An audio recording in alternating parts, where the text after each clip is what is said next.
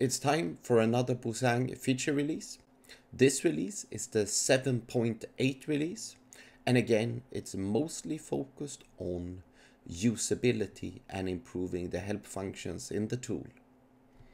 As usual, you can find the release notes in our forum under here on the right hand side, and you can see feature release 7.8.1. The first things we did were in the tool, uh, we added a number of new features. So if you launch the tool, you can see we've deprecated the old help function and instead we've added a tooltip function that is a little bit easier to find. So if you go and you hover inside the tool, you can see if you hold on something here, you will see a question mark with the tooltip. So you can find these now throughout the tool. So let us know if we're missing it anywhere.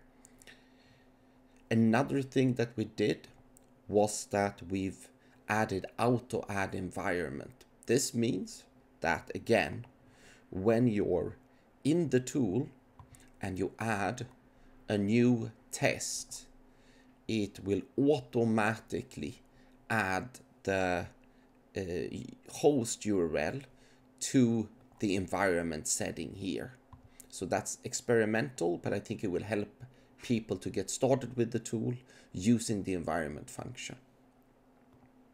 Another thing we did is that we can now add tests and scenarios from the tool.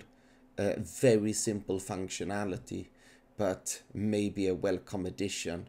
Now, when you're in the module or the feature list, you can directly add tests in to a module or a feature, which we think can help a little bit with the navigation. We also added a small feature into JavaScript where you can use the await function. So this is especially good when you're doing things that are slow, that are synchronous, that you need to wait for. We updated the screenshot functionality, so now it should be easier for you in your CI logs to capture screenshots and get the relevant uh, part uh, for a failure. We also removed some unnecessarily wait on failures and fixed the bug around the search in the tool where we got invalid results um, shown when you were searching.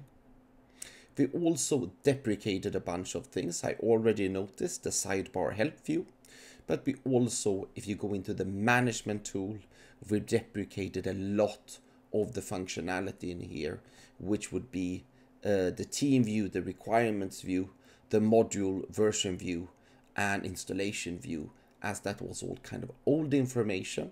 And this in, is in preparation for us working on a new, simplified, and cleaner management interface. So this is just a stepping stone on the way for where we're going on the management view, where we're doing a UI update.